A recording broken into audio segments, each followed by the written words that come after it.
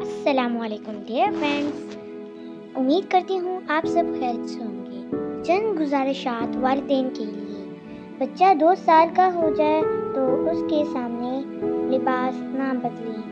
बच्चे को खबरदार करें कि वो किसी अजनबी की गोद में ना बैठे। ख्याल रखें कोई। बच्चे का उल्टा